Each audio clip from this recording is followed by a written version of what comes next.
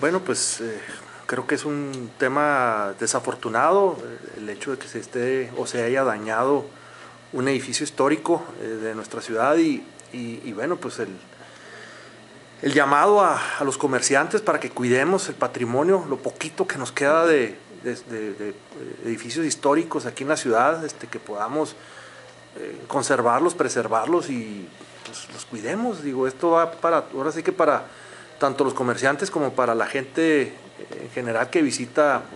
el centro, particularmente donde están este tipo de,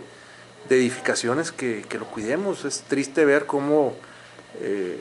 entre más destruidos, pues como que si le, echamos más a, eso y, bueno, pues hay que buscar cuidar este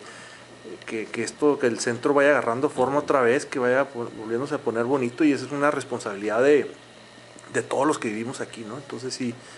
es, es lamentable y es triste ver este tipo de situaciones, actitudes. Ojalá y, y, y que la autoridad también intervenga y sancione a quien tenga que sancionar por, por este tipo de prácticas que no deben de ser. De hecho, había hay por ahí algunos proyectos, ¿no? En el municipio de, de regenerar algunos edificios históricos en los que iban a participar. Sí, de hecho, yo- es, es una propuesta que inclusive yo se le, le hice al presidente buscando, vemos con, pues, con tristeza tantos mm, negocios abandonados, tapiados,